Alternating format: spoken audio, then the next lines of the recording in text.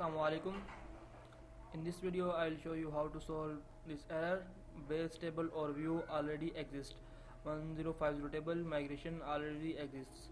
So how can we solve this problem? This problem occurs sometime when your migration table and uh, table are already created in your database. So you need to delete your tables first then you need to run this command again.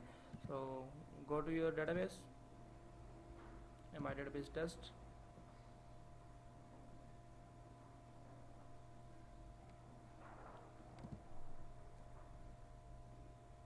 and here you need to delete your tables. You already created before running the command migration install. So click, on select drop here. I am using WAMP server. You need to delete according to your own options. So table are deleted now go and run the command again php migrate install. So you can see here migration table created successfully.